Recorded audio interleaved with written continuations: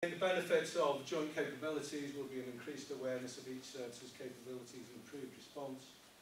Uh, it would enhance our capacity and our resilience, potential to share equipment and reduce costs, reduce duplication of efforts, and there is, we'd like to think, joint funding opportunities as well around that collaborative approach. Okay. There are risks, blurring of organisation roles and responsibilities, There will no doubt be differing organisational priorities, and as I've already mentioned, both ourselves and NWAS in particular, but I'm sure uh, also true for the police, we have a national commitment and we have to maintain our commitment to the uh, National Resilience Framework. Um, we would have to make sure that we continue to do that. Um, that's in the okay. Uh, the last one around sort of our preparedness work is around training. We believe that there is some genuine opportunity around training. Um, current provision we, uh, police deliver what they call protective training. We call it core skill training, but basically it's making sure that all our people are competent and have the ability to do the job that we ask them to do. Um, physical fitness, uh, both, certainly talking for police and um, we have a change in our employment conditions. We all have employees who are now going to have to work longer and still maintain the same demanding role that they've always done. Therefore, it's fairly obvious that we need to make sure that we keep our employees fit and able, and able to work on the front line. So we see physical fitness as a major uh, uh, area where collaboration would, would be a great benefit. JESIP again, driver training and some of the more core skills that uh, all our employees need around health and safety, first aid, other areas, e-learning, simulated operations. When we say crime, we mean the areas around investigative work around crime. We're not uh, going into any more detail than that. But leadership training, both organisations have already identified that there's a great deal of benefit in running successful coaching and mentoring schemes. Surely if we bring the two organisations together this, with those sorts of schemes and NWAS, then there will be greater benefit. Licensing and accreditation. Uh, commercial training, uh, as far as fire is concerned, we already do deliver some training on a commercial basis to the both public and private sector. Uh, we think that we could develop that further. And there is issue which kind of overlaps into the shared estate piece, but again, is there opportunity for us to collaborate on training venues very likely, yes. Okay. Again, greater strength and resilience, best practice, best value, embedded JESIP and reduce duplication across the training functions, all of which we think will deliver enhanced value for money. Um, one of the risks we've identified around training is the College of Policing professional body and licensing requirements. I'm not going into great detail about it, but um, the College of Policing are now accrediting their professional qualifications and there is a requirement for, I believe, all police officers to undergo those nationally accredited qualifications. Um, greater capacity to deliver joint training, uh, sorry, capacity issues to deliver joint training due to individual organisations' own training requirements. Uh, there's legislation insurance issues and training courses need to meet the needs of each organisation. Okay. Moving on to community risk management. As part of the uh, current provision for community risk management, the fire service have a community prevention team which deliver um, has different sections, the youth engagement and Prince's, uh, Prince's Trust team, arson and ASB, the in investigation, in, uh, incident investigation team, road safety education and home safety team. We also have a community protection team which look and are responsible for promoting fire safety and enforcing fire safety legislation. Um, they carry out a range of inspections and visits to different locations which include nursing homes, hospitals, nightclubs and restaurants. And they also provide advice to planning committees around um, the design of new builds. For the police service, when we looked at this again, they've got a very similar structure where we've got a central community engagement team which um, look and deliver community engagement, youth engagement, look at um, the volunteers and extended police families, so look after our specials and volunteers. We have architectural liaison officers which provide a similar role to protection in, in fact, fact that they provide advice and guidance around crime prevention and designs of new builds. Um, and we also have a travel safe team. Within the police service as well, we have neighbourhood policing teams which um, help to provide some prevention and reassurance and a number of different aspects to help to improve the service for victims and, and communities. Looking at problem solving approaches. We also already have multi-agency integrated offender management teams and also the multi-agency safeguarding hubs. So when we looked at developing any opportunities, we've had to be very aware about what existing structures are already in place to make sure that we then look at any pathways or gateways to them because what we're keen to do is not actually duplicate any work which is actually on, ongoing but to actually help support and supplement that work. So therefore in looking in terms of potential options when we looked to see in actual fact there was quite a lot of overlap and, and duplication that we could actually help to enhance that work and we already know for example the community engagement youth team work closely with the Prince's um, trust team and we already have a police officer who is embedded as part of that with the fire service. So one of the options that we've looked at and considered was the fire service are looking at setting up currently a vulnerable persons unit. And I think we've got to be careful and I think throughout all of the, the different parties around terminology that different services have. For the, the fire service, the actual term for um, the, the vulnerable person is looking at more at those who um, are at risk from certain factors. And those are things like age, drugs and alcohol, mental health, disability and asylum seekers. Whereas for the police at the moment, we already have our sort of multi-agency safeguarding hubs, which will look more around safeguarding issues, child protection issues, domestic violence. So it's, it's a slightly different um, terms in, in terms of vulnerability. The fire service are aware that at the moment one of their current key risks is around over 65s uh, and the number of fire deaths which have actually been occurring have been increasing. So one of the main areas that they want to try to target at the moment is the over 65. But then one of the beauties of the actual vulnerable persons unit is depending on where the threat and risk is, it can be altered depending on where the, the, the, the different factors are, so be it around the drugs and alcohol or, or the mental health. The next um, option, which is around the community prevention, is around having a joint centralised community safety team, which brings together the community engagement, youth engagement and volunteers and extended police family from both services and protection officers and architectural liaison to actually provide a more holistic approach. A third opportunity that we've identified, which is possibly the third option at this stage to take forwards towards a more detailed business case, is to have about that central team, but also to have locally based teams. So the fire service have, based in, in their areas, um, prevention officers, protection officers, which already have a good working relationship with the neighbourhood policing teams around that, that problem solving. But currently, they sit separately. So actually bringing those um, teams and agents, uh, the different teams together, it can actually help to improve the information sharing and provide a more holistic approach to our, our victims and our communities.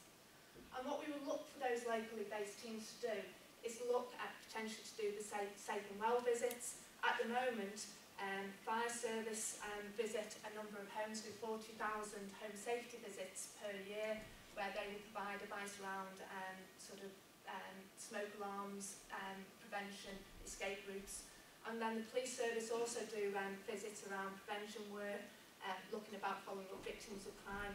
So in actual fact, rather than having different members going, it could just be one individual which can provide messages which can actually meet both organisational needs. And further than that, some of the work that fire service are looking at with health is actually how can we prevent earlier by actually maybe visiting like the elderly who, or individuals who may be at risk of um, trips and falls, to actually help to save money in, in the long term if we can actually prevent. Um, we also know from each of the services that uh, each of us, so the ambulance, fire and police, have a number of frequent callers and users. But the situation that we have at the moment is that police will tend to deal with their frequent callers in isolation and then they will tend to move on to another agency where they become their frequent callers, they think that they've dealt with them and then to move on. So in actual fact, if each of the three services can better um, bring together the information, then they can actually help to solve the problem and maybe working with our mental health um, practitioners, which we'll sort of cover later on, but who are also doing some work around repeat victims and repeat callers, we can actually help solve some of the problems in the longer term and look at providing a longer term preventative solution rather than moving around from one agency to the other.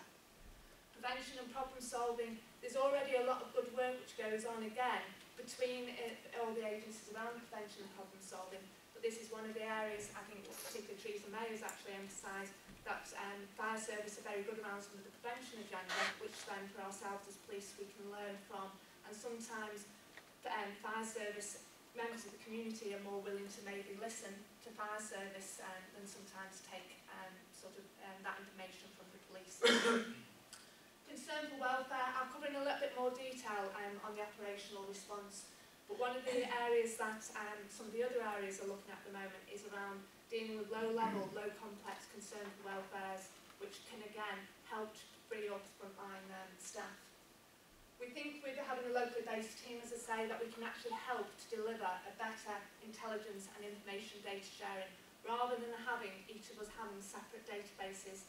One of the sides that we've discussed with the ambulance service is very much of um, we need to make sure that that memorandum, so to make sure that that information can be shared for the benefits of victims and the communities and not to be shrouded sometimes around the medical confidentiality. Because at the end of the day, if it's to improve and deliver a better service, that's what we're here to do. Again, education. At the moment, both police and fire and ambulance will go into schools separately. Um, and quite often now it's sometimes harder to get in onto education agendas because of their commitments and times. That again we can look at how we can deliver some of the holistic messages better together. And so for example the road safety things where we know that the teams already work closely together, we can help to get the messages across both from the fire, ambulance and from the uh, sort of um, policing point of view and perspective. We also think a locally based team can help around community resilience times. So um, John mentioned before about flooding incidents. Also if we have like a shooting, in actual fact a greater number of staff, be it from whichever agency, can help to provide reassurance um, for the, the, the communities. So it actually gives us a greater mass to help to get across those messages. And again, um, some, um, some victims and communities will respond better to different uh, agencies to help to get those messages across. The benefits um, of the, the, the different options that we've looked at so far is to improve the service delivery for the victims and the communities through a holistic approach to prevention. It will hopefully as well, by having a preventative approach, reduce demand on the frontline services It will help to improve the information sharing so that we can actually help to improve our service to target vulnerability and risk. As we're getting shrinking resources, it's important that we most appropriately target our resources where they're most needed. It will also help for each of the agencies to share best practice, learning and experience, and also to help us to um, add additional capacity and resilience to the teams, and hopefully help to reduce duplication in effort and also, as different things come through, help to provide opportunities, if there are funding opportunities available, for us to be able to bid effectively into them. Some of the risks and issues that we've identified is some of the concerns around the corporate brand and blurring roles which may impact on the, the um, public trust. It's been mentioned before, obviously the fire service do have a corporate band, brand which enables them to get across a number of households which maybe the police may not have done. I think from our research though, from where this has happened in other um, sort of services and organisations where there was that concern, it's been found that it hasn't come to fruition. So whilst it, it's a concern, um, it, it's something that would have to be monitored and actually through appropriate messages to make sure that we get that put through. Also, as I mentioned there around information sharing, some concerns around the confidentiality and restricted intelligence. But I think we all know the Crime Disorder Act, got to be looking at improve, uh, sharing information it's around prevention of um, crime and disorder. So in actual fact, we should be sharing that information. Um, as I mentioned before, we've got to be careful that we're not actually duplicating or being siloed work with other established um, structures such as the IOM, the MASH, um, so the Integrated Offender Management thing, multi-agency safeguarding hub and Troubled Families Agenda, which are already a multi-agency structure, so we need to make sure that the gateways are in. And also sometimes we've got to be careful that we're not trying to provide too much information to um, communities So we must be able to prioritise our information and messages that we're looking to get across rather than actually getting too much and we lose the, the focus. Also with volunteers, the fire service and, and the police have different um, systems and processes about how we recruit our volunteers. So again, we, we need to explore that in any development of the interim outline business case. In relation to um, operational response,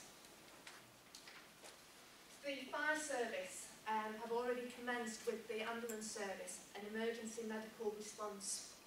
What we do know is research is clear. The longer a patient is in cardiac arrest and without any resuscitation attempted, the lower chances that they are for um, chances of response to treatment is survival. What we do know is if a cardiac um, arrest victim is defibrillated immediately, their chance of survival is 85% but that odds decrease 10% every um, minute um, that that time passes.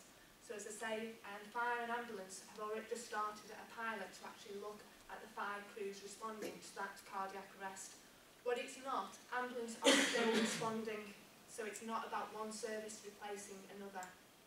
For Merseyside Police, we currently have defibrillators in a number of our vehicles, our specialist vehicles, and um, also on the Wirral we've got them in all of our patrol vehicles, where currently we respond spontaneously to incidents. So there is an opportunity for us to look and further work will need to be undertaken to consider whether Merseyside Police can also be part of that pilot looking around depo um, deployment um, sort of um, potentials or whether we just remain um, responding um, spontaneously to incidents. I mentioned before about the NWAS triage pilot which is in place between the ambulance service and the police. What's been shown um, before this pilot started was that 45% of police requests to the ambulance service um, resulted in um, the patient not being conveyed to, to hospital, which then tied up an ambulance and also tied up police officer time. What we also found from analysis was that 2.84% um, of all um, calls for Merseyside Police were created from the ambulance service. So work has already been taken. There was markers on addresses for the ambulance service which should not have been there. So a review has already been done about that, which will both fire, police and ambulance to make sure markers are correct and accurate. And then in April of last year, we started with the NWAS triage process. And since October 2015, a paramedic has actually been based here with the police at the Joint Command Centre. And what the ambulance service do with the paramedic is they will actually uh, be, um, the police officer can phone up from the scene and the paramedic can speak to the, the patient and provide advice and guidance there. And what's been identified is from that, that's resulted um, in the latest figures from February, 49% of calls being able to be dealt with by a hear and treat um, process rather than deployment of ambulance which has then freed up police time um, and also the ambulance time to be able to respond to more um, sort of uh, urgent calls. The fire service also have a similar approach where they can phone the urgent care desk at Belmont Road to get advice. But one of the opportunities we've identified is, it, is the opportunity to actually extend the scheme to actually be uh, available for all three services rather than it being two separate aspects at the moment. The other side, which has been um, very beneficial at the moment the, the, the sort of police, is a having a mental health triage scheme. Again, um, we have a mental health practitioner who's based in the Joint Command Centre who can provide advice over the phone to officers or if it's such an urgent need, they will also attend out and do a risk assessment with a police officer to actually make sure that referrals can be made. And again, that's reduced um, our um, Section 136 Mental Health Act um, sort of referrals by 40% in the last year.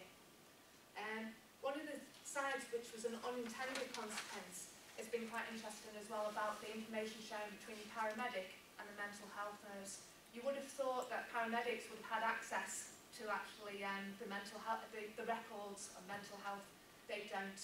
And in actual fact, it's the, having the three services together has actually helped to improve the response again for victims and patients. And, and that's where we would look to expand this to be available as well for fire service and for um, our, ourselves. The benefits um, of the, the um, triage system is to improve the service to victims uh, and patients. It does help to reduce demand on services and it enhances that partnership working. Sorry, I've already mentioned there around change. The other aspect that the ambulance service are also looking at is the development of a multi-agency clinical care hub. Um, this is in its early development, and again, what they're looking to do is to see if they can expand part of the model to also involve staff and GPs um, and, and other sort of services who could also help to tap into that, that resource to again provide a more holistic approach. Um, so as part of the next stage for us, we're, we're keen to sort of develop a greater understanding about what that clinical hub will, will look like We have guided that we didn't want to lose a response from a Merseyside part to a regional side, so, so we have provided that advice and guidance. Um, I mentioned before around concern for welfare, um, one of the areas which is demand on each of the three services, it relates to concern for welfare calls. Uh, and this includes missing and absconded from homes, suicidal members of the public, concerns for service users, vulnerable people who may have activated their emergency cord. We get calls around people behaving erratically and concerns about individuals who are responsive in their own homes as well as children left alone in their own vehicles. From April 2015 up to March 2016, 7% of the calls for Merseyside Police related to um, concern for welfare and it's one of our fourth highest calls uh, at present fire service already um, uh, uh, will concern for welfare if we have to force an entry, so there, is already an agreement in terms of where there are actually parties. But some of the areas which we've explored is that there may be a greater possibility either through the joint community safety team or the operational fire crews to actually deal with more low priority, low complex concern for welfares. In some of the other areas at the moment, so for, for Lancashire, Cheshire have just gone live on it, um, the ambulance will um, call any sort of concerns for welfare directly to the fire service rather than through the police. And there, so again, it helps to reduce some of those demands. So that's one of the opportunities we've identified for further detail uh, examination. Missing from homes. Um, the College of Policing makes it clear that it's important that we um, sort of establish the whereabouts um, of an individual, but it's not just for one agency. To actually deal with missing from homes. It's responsibility from all, for all agencies. What's been identified is nationally over um, 19,000 police constables' time is actually uh, spent dealing with missing from homes, um, which is around 14% of the total number of police in the, the organisation uh, in the, across the UK. We had a look in terms of uh, seeing how we can actually deal better with missing from homes and actually help to, to improve um, that and some of the options available. The police service would still retain ownership for any missing from homes and absence from care, but there are a role that uh, each of the different agencies can actually um, provide. So, for example, searches. Um, if we've got areas that we've got to search, large areas and different parts, we can call on our colleagues from the um, fire service, which we have done previously, help undertake some of those sort of wider searches or where we need a greater number of, of people. We can also look at circulating photographs through to both the um, fire service and sort of ambulance crews because again, quite often some of the individuals we known to the different agencies and more eyes and ears which are on the ground will be better. We can also look to adopt a multi-agency um, problem-solving approach to reduce those, those sides and also potential around uh, address checks being done by the nearest resource, um, whichever agency that's uh, they are from. We can also look to help to develop a greater sharing of intelligence around the individuals from which each of the different agencies have got, because that may help to improve where we can locate an individual quicker uh, and earlier.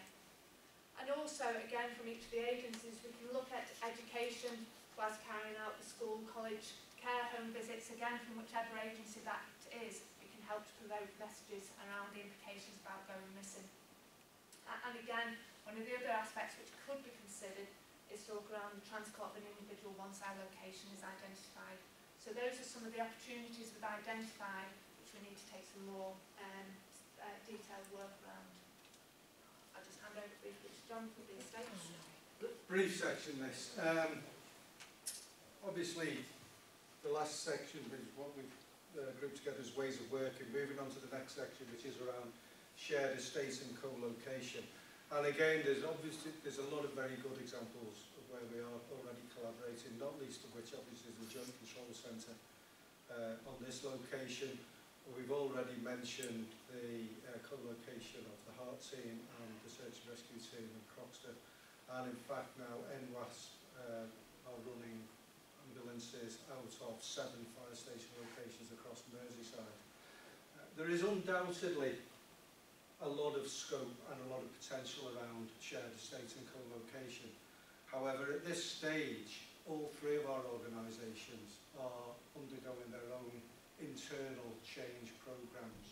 Um, our, our, all three organisations, our estate strategy is absolutely integral to our internal change programmes. So, to a certain extent, that, that area of this particular project is on hold for us until we are uh, better sighted on the outcomes of those programmes. And at that stage, we will then be in a, in a, a much better position to identify where that opportunity lies. Suffice again to say that that opportunity does, does exist. Okay, currently we have 25 operational fire stations, uh, the police have 79 sites, and NWAS have 24 stations uh, with some of, some of the buildings. So we know that there's scope there, but at this stage we, we await the outcomes of those internal change programmes. Okay. This next section is uh, the last section we're going to do on corporate services. Just to emphasise that this last section, as Helen's already mentioned, is just Merseyside Police and Fire and Rescue Authority. The, all the previous sections have been uh, involved NWAS and I must just emphasise, I think that uh, the Director of Operations for NWAS sits on the strategic board and they have been fully engaged in all the work that we've undertaken so far. For the, the corporate services, again, because each um, organisation has slightly different terminology, Um, the functions that we have considered are human resources, occupational health, training and academy, vehicle fleet management, estates and facilities management, media and corporate communications, strategy and performance, and it's, it, the police's corporate support and development, legal services, information communication and technology, and health and safety. From our initial high-level um, overview um, of each of the, the um, functions, we have identified that there are similar functions um, being delivered across each of those areas. Although what we have found is the methods, the staff terms and conditions, the processes, the ICT systems and the um, delivery methods are very different from each of the organisations. And some of the areas just to highlight uh, at this stage, is, which we identified as the opportunities assessment, which will need to be considered in greater detail in any in, uh, outline business case, is um, the outsourced and in-house provision. For um, Fire Authority, they have outsourced provision for ICT, facilities management, treasury management, internal audit, occupational health, and the management of their finance, HR, payroll and procurement ICT systems, whereas all of these services are currently provided in-house for the police service. Whereas for the police service, uh, we currently have outsourced provisions for payroll and um, pensions and our clothing stores, um, which are again similarly provided in-house by the fire authority staff. Um, and then both organisations have outsourced provisions for pension, although they are um, different service providers. And what we've identified is really a number of those outsourced functions, their um, contracts have been started which are under varying um, lengths, some of which are up to five years and have only just begun in some circumstances. So as we look to develop um, any sort of case further, we need to understand fully um, about the risks and benefits of outsourced provision against in-house provision and vice versa to see which one would be most suitable for any collaborative model, or if um, there was a decision to take forward outsourced provision about um, any um, penalties for any early uh, termination of contracts. So that's an area that we need to consider in greater detail. We've also identified, I think it's one of those uh, old adages, is around the ICT systems. Both organisations have very different ICT systems. So again, when we look at uh, the more uh, detailed business case, we've got to understand, are there any of those ICT systems suitable for the collaboration or do we need to invest in, in new systems as we move forwards? Um, we've also looked at the employment model, so taking aside the actual um, sort of new duty side of things, there's already existing employment models which would need to be considered, be that from a, a lead organisation, a host organisation, public-public partnership or a, a single legal entity, which are already arrangements which are in place around different parts of the country for um, collaborative arrangements as they are. But in doing this, what we need to be aware of, uh, I think it's already been highlighted, is that staff are on different terms and conditions, so that we need to think carefully about the most appropriate employment model um, and if there were any decisions to change these terms and conditions, we need to ensure that we're negotiating with the relevant um, representative bodies. And we also need to be cognizant of any um, potential for equal um, pay claims as we move forward about any employment model that we choose. Um, John's mentioned before around the vetting. Currently, um, Merseyside Fire and Rescue Authority staff are employed to level 2 um, and Merseyside Police are employed to at least a minimum of level 3. So again, in considering those vetting processes, we need to see which is the most appropriate measures to put in place for vetting. And again, different services and organisations at the moment have chosen to do that in different ways. So we again will look at the benefits and the risks of those different options. We also need to look at the, the cost apportionment. Again, if there is a collaboration around there, we have to bear in mind that um, one organisation isn't subsidising the, the, the needs for, for any other organisation and that we need to make sure that we've got a fair cost apportionment model. So as we work, move forward, we will look to um, work with the different finance departments to make sure that we've got um, the best and the most appropriate model. Um, for the legal service, just to highlight an issue which has been raised by the um, sort of poor solicitors, is just in relation to their practicing certificates as they currently stand, which only allow them to um, practice for their own respective organisations, and there may be potential difficulties in providing services for each other's. But then that's where we need to look at further work to understand what that is and those measures which can be put in place to overcome those, those difficulties. Because I think it'd be one thing which is already sort of faced by some of the other organisations which we may be able to learn from. Uh, another matter just uh, to highlight just around some of the discrepancies which we, we found. The uh, MFRA Director of Legal Services also currently performs the statutory role um, of the monitoring officer for the um, fire authority um, and the treasurer also provides a statutory section 151 officer position for the, the authority and those similar roles at the moment are currently performed by um, roles which, which are within the Office of Police and Crime Commissioner and it's just consideration as we move forwards to sort of more detailed interim um, business case, whether those roles should be provided or considered within the scope of the, the business case. Um, it's also important as we look forward um, is in developing the outline business case is around a phased, uh, potential for a phased approach. We need to look at the most um, appropriate implementation model. What we found is that there may be some of the areas which are easier to collaborate on straight away and others because of the um, technical and contractual issues that we may look at at a, at a long-term um, programme and that's where the, the work that we've got to look at further. Just then in relation to the benefits, I think the, the benefits of the corporate services approach is to look at identifying financial savings which protect the frontline um, operational delivery. Uh, if we can actually look at providing corporate services for both organisations, it may help to achieve um, that side. We also look into it as each organisation is um, sort of shrinking and sort of cuts with that. Actually having a merged corporate services can provide a greater strength, resilience and capacity for both organisations and also help to improve efficiency and effectiveness and together with sharing best practice from and learning from the both organisations as we move forward. Some of the risks and issues which we've identified is around some of the different cultural barriers, different organisations, I think there's concerns that will one organisation take priority over another and so that would have to be looked at at how we uh, manage those different organisational priorities and competing demands. I mentioned earlier about the ICT systems and the terms and conditions and the vetting.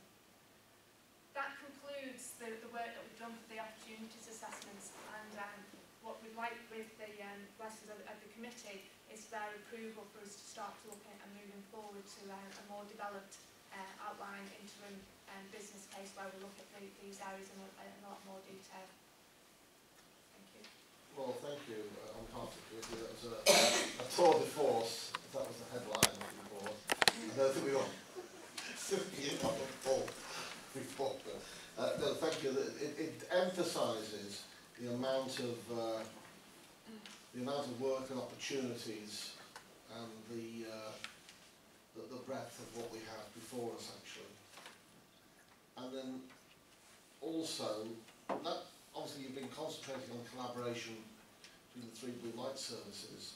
In one of the models, obviously it comes in with the the, the sort of sub-regional uh, county mayorality, which is almost like recreating a mini Merseyside County Council. Some of the administrative functions could find could find their way in at, at that level as well in terms of back office service delivery, and that sort of thing, services. Uh, so it's a big mix. Anyway, um, any additional context, any additional questions, any contributions? No? Yeah, That- sorry. Sorry. I was nodding. Oh, sorry. Uh, a number of questions. Um, just to ask you to what extent the trade unions and staff associations are involved in, I know it's early days, but we've learned through the Sustaining Excellence Change Programme the benefit of having staff and trade unions uh, um, really advising on the whole process. Uh, so that was, that's one question. Checking on the questions and then. Yeah. Um, I thought it was a really good presentation. Thank you to both of you. Could you circulate a copy of the presentation? Because it would be really useful, because I thought it was really good. And there may be areas of it that members of the, the committee want to ask more detail of, um, that we could, as you sort of um, went through the work, I certainly, some areas of concern I would have, for example, be interesting exploring with the force in particular, any concerns around how we, how we manage the increasing pressure to regionalise. So you talked about marine rescue and the, and the um, underwater teams. And we, we know the pressure coming from the Home Office to uh, regionalise more units. How, how we manage that in the context of greater collaboration locally. And also, sort of mind-numbing work it's taking us trying to get the forces to collaborate. Shouldn't have said that. But you know, how difficult it can be to get cross-border collaboration. Sometimes because of all the um, difficulties around different grades performing similar functions and so on. Um, so those were, um, one was a comment, there was a question. And one final thing on, on the OPCC, um, I, and again, I'm not sure. I think where we are, where we fall in scope, if it comes, if it comes clear that there is fall in scope, I think it should be included. Not sure that the two you settled on necessarily do. I, I welcome an assessment of where you felt we will fall in scope. But because of the two corporations, because of the complex structure that we've got, there is an absolute divide between the function of the office of the PCC and the force, which you don't have in the That's fire. correct. Um, so, if we need legal advice, we call upon the force solicitor, unless she's uh, compromised because she's already advising the force on the same issue. If that arises, I go externally on a case-by-case basis, which is so rare that uh, I'm not sure if we, we might do it occasionally, uh, for, um, but very rare. So I think, I think it's a great starting point.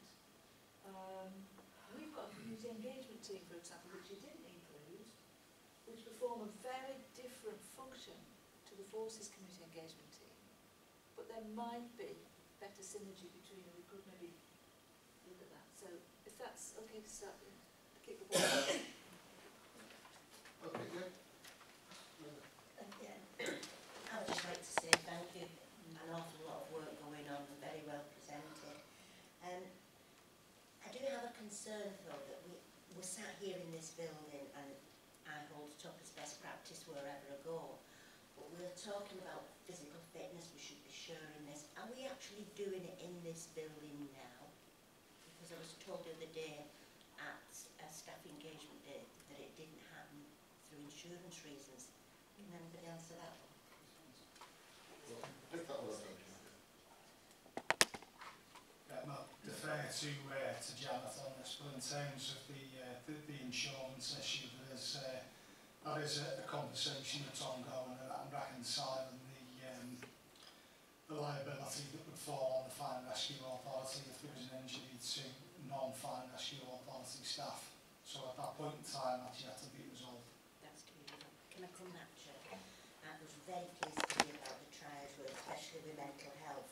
But it does say within here that we're working with Merseycare, and obviously Merseycare does not cover the whole of Merseyside. Uh, so it might, it, y- the answer might be in paragraph twenty-one that you're looking to work further. But I can't imagine people from like five boroughs sitting in here, uh, Merseycare sitting in here and whatever.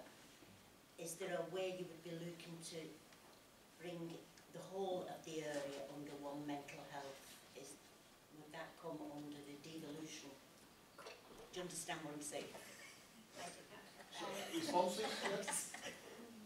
Sorry, just in relation to, we do have a mental health team in five boroughs, because I used to be at St Helens, so there is, but that, that individual, that they're actually out on the streets, so they get their calling from there, whereas the Merseycare one is based here in the JCC, so there is a mental health triage scheme, which is in place with the five boroughs, which covers, covers St Helens and um, Knowsley areas, so there is that provision out there as well, which, but it's, um, they're actually out on the ground with the police officer. Thanks. Any other comments on what the Commissioner asked? Yeah, just in in relation to Commissioner around the trade unions, we have had active involvement and I also go down um, to the fortnightly trade unions meeting to make sure that they're updated. We briefed all the representative bodies for the fire and rescue service and we have ongoing staff engagement for for the. You did say that a lot of the operational work's been well welcomed.